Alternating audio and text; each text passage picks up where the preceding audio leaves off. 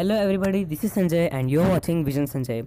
So today let us learn how to convert any Android smartphone into the brand new OnePlus 6. So first of all, you should have three applications namely Oreo Launcher, Cornora and Notch'ed.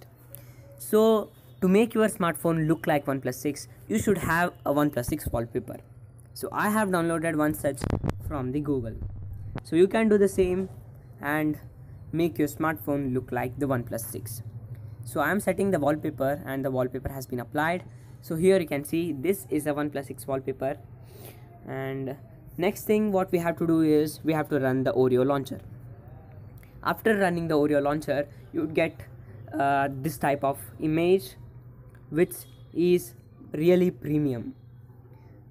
So the next thing is we have to run the Cornora application and grant each and every permission which it asks.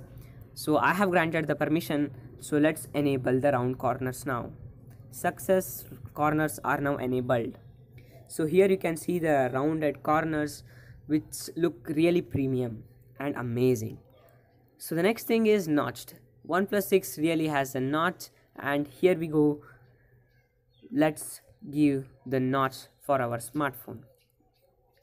So here is the complete setup and we are done.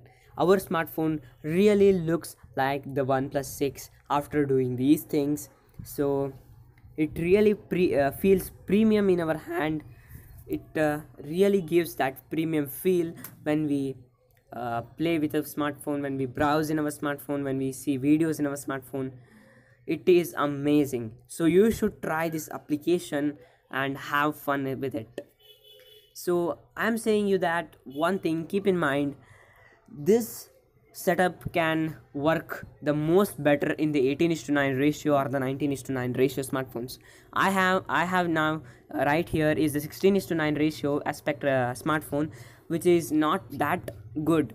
But when we when you uh, make the setup in the 18 is to 9 or 19 is to 9 ratio it looks amazing awesome tremendous and much more. You will love it so thank you for watching. Please do like share and subscribe. Press the bell icon to get the latest updates.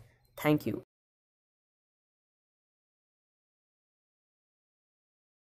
you